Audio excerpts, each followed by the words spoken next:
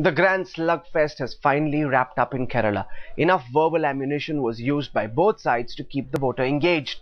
Rahul Gandhi ruffled a lot of veteran feathers by picking on V.S. Achyutanandan's age. The Red War Horse, known for his biting tongue, leveled the score by calling the Gandhi scion an Amul baby. And he topped the name calling with the Kumbhakaran jibe at former Chief Minister A.K. Antony. The VS one-man show has topped the popularity charts. Question is, will it translate into words. The heat and dust of the election campaign might be over in Kerala as the state prepares for Wednesday's polls, but some of the remarks made by political leaders are still reverberating. First, it was the exchange between Rahul Gandhi and Chief Minister V.S. Achutanandan. After Rahul took a dig at him over his age, the 87 year old Chief Minister called him an Amul baby.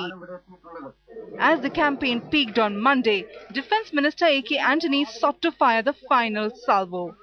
Drawing from Ramayan, he dubbed the CM as Kumbhakaran.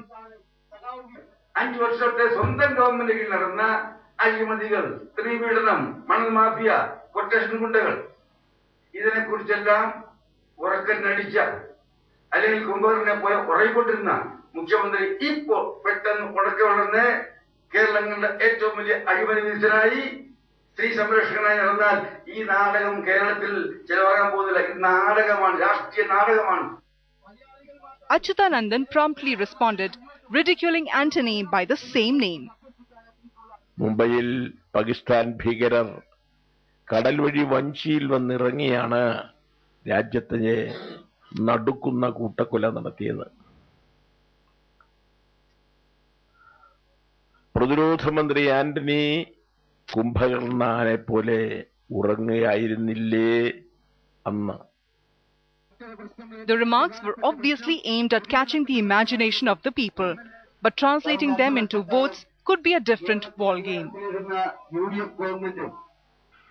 The ruling Left Democratic Front government in Kerala is fighting to retain their political position.